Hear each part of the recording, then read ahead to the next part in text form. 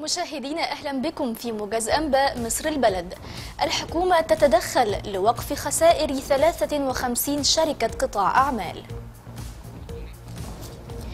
قررت وزارة قطاع الأعمال العام منع صرف أي مكافآت لمجالس إدارات الشركات الخاسرة وكذلك للعاملين بالشركات. وكشف مصدر مسؤول بوزارة قطاع الأعمال أن الوزير أصدر تعليمات لرؤساء الشركات القابضة بمنع صرف مكافآت لمجالس وعمال الشركات التابعة في محاولة لإصلاح مسار تلك الشركات.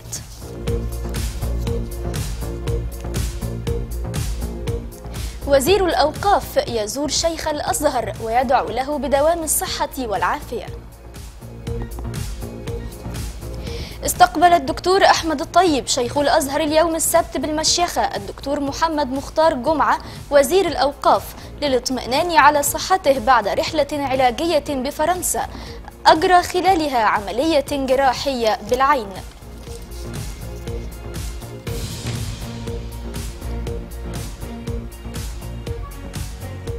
الوقائع المصرية تنشر قرارا يخص طلاب الصفين الأول والثاني الثانوي. نشرت الوقائع المصرية في عددها الصادر السبت قرارين لوزارة التربية والتعليم والتعليم الفني.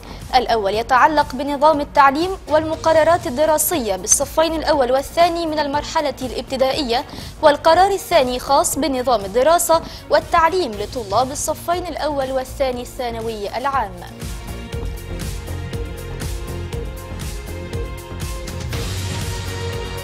اتحاد الكرة يحسب موعد الجمعية العمومية المنتظرة.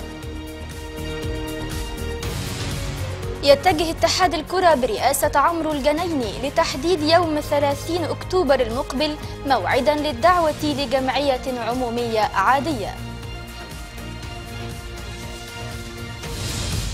وإليكم حالة الطقس.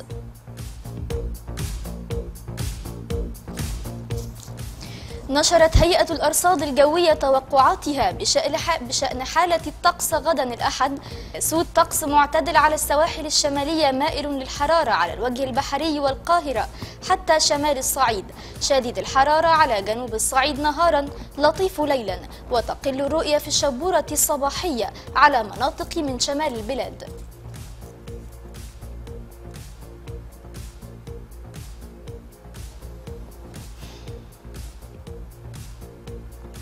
مشاهدينا انتهت نشرتنا.